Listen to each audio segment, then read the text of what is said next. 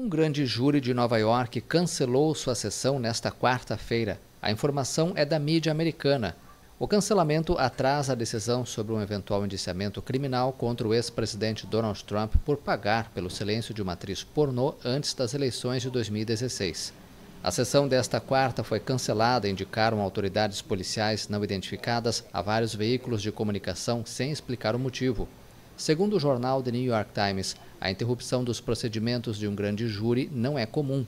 Com barricadas do lado de fora da Trump Tower e a polícia em alerta máximo, a cidade está em suspense há dias com a possibilidade de o ex-presidente ser indiciado pelo Tribunal Estadual de Nova York, em especial depois que Trump afirmou no fim de semana que seria preso na terça-feira, o que não aconteceu.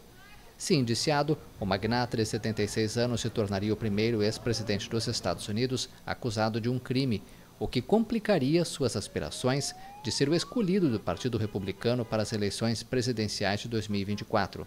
Também seria a primeira vez que um ex-presidente americano poderia ser preso, registrado com impressões digitais e possivelmente algemado.